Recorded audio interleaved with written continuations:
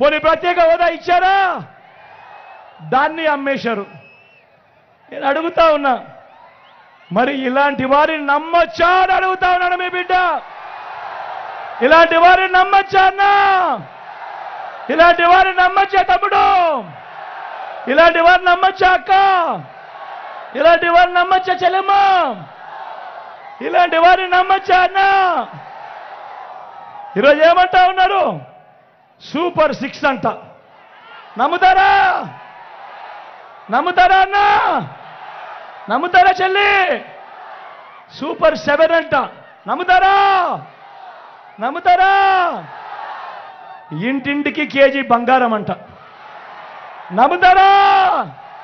అక్క ఇంటింటికి కేజీ బంగారం అంట. నమ్ముతారా? అన్న నమ్ముతారా? చెల్లెమ్మ నమ్ముతారా? ఇంటింటికి బెంచ్ కారంట అంట. ఇంటింటికి బెంచ్ నవ్వుతారా ఆలోచన చేయమని మిమ్మల్ని అందరినీ కూడా కోరుతా ఉన్నా. ఇవాళ ఇవాళ మీ అందరికీ కూడా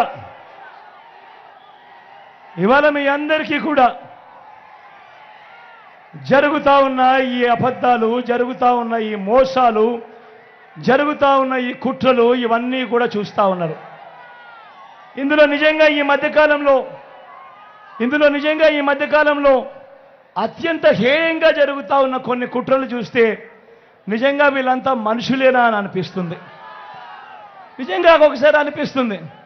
ఎందుకనంటే యాభై ఏడు నెలల దాకా మామూలుగా మీ బిడ్డ పరిపాలన అరవై నెలలు జరగాలి. ఐదేళ్ళకు మీ బిడ్డకు అధికారం ఇచ్చారు. అంటే మీ బిడ్డ అరవై నెలలు పరిపాలన చేయాలి.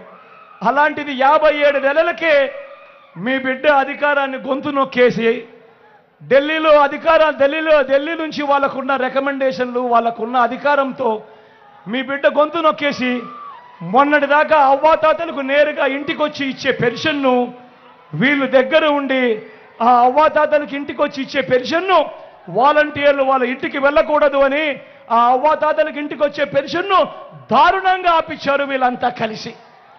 నేను అడుగుతా ఉన్నా ఆ అవ్వాతాతలు ఆ అవ్వాతాతలు రోడ్డున పడి ఎండలో తిరిగి అలిసిపోయి కష్టపడి ఆ అవ్వాతాతలు అగసాట్లు పడతా ఉంటే చంద్రబాబు నాయుడుకు తన కూటమికి ఎంత సేడిస్టిక్ ప్రెజర్ ఇది అని చెప్పి నేను అడుగుతా ఉన్నా ఆలోచన చేయమని కోరుతా ఉన్నా. ఇదే కుట్రలు ఇంకా కొనసాగుతూ అరవై ఏళ్ళకు అరవై నెలలకు మీ బిడ్డను ముఖ్యమంత్రిగా ఎన్నుకుంటారు. అలాంటిది అరవై నెలలు కాకమునిపే యాభై ఏడు నెలలకే మీ బిడ్డ గొంతును నొక్కి మీ బిడ్డ బట్టలను నొక్కాడు. నా అక్క చెల్లెమ్మల కోసం నొక్కాడు. నా పిల్లల కోసం నొక్కాడు. నా రైతన్నల కోసం నొక్కాడు. వాళ్ళందరికీ మంచి చేయడం కోసం మీ బిడ్డ బటన్లు నొక్కాడు. ఆ బటన్లు నొక్కింది ఎన్నికల కోసం మాత్రమే నొక్కిన బటన్లు కాదు ఈ బిడ్డ. మీ బిడ్డ మొట్టమొదటి రోజు నుంచి ప్రతి సంవత్సరం నా అక్క చెల్లెమ్మల కోసం బట్టలు నొక్కుతూనే ఉన్నాడు నా పిల్లల కోసం బట్టలు నొక్కుతూనే ఉన్నాడు నా రైతన్నల కోసం బట్టలు నొక్కుతానే ఉన్నాడు. అలాంటి అలాంటి రొటీన్గా జరుగుతూ ఉన్న బటన్లను మీ బిడ్డ బటన్లు నొక్కాడు అని యాభై ఏడు నెలలకే నా అక్క చెల్లెమ్మలను మీ బిడ్డను గొంతు పట్టుకొని పిసకాలి అని చెప్పి నా అక్క చెల్లెమ్మల కోసం నొక్కిన బటన్లు ఆపారు. నా పిల్లల కోసం నొక్కిన బటన్లు ఆపారు. నా రైతన్నల కోసం నొక్కిన బటన్లు ఆపారు.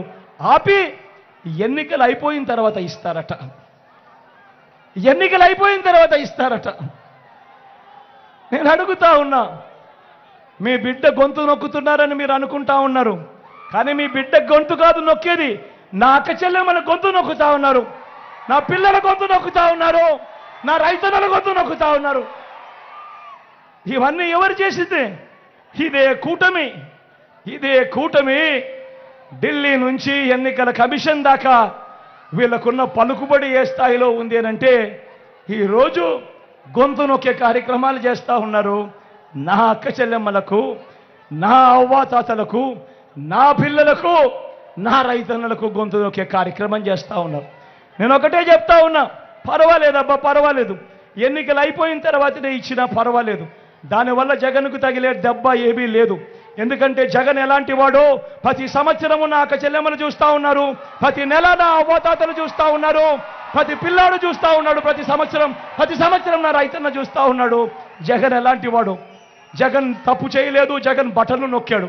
కానీ యాభై ఏడు నెలలకే అరవై నెలలు సాగాల్సిన పాలన యాభై ఏడు నెలలకే గొంతు నొక్కుతూ జగన్ను ఇబ్బంది పట్టాలని చెప్పి ఆ ఇబ్బంది పెట్టాలని చెప్పి వీళ్ళు పథకాలు ఆపుతా ఉన్నారు.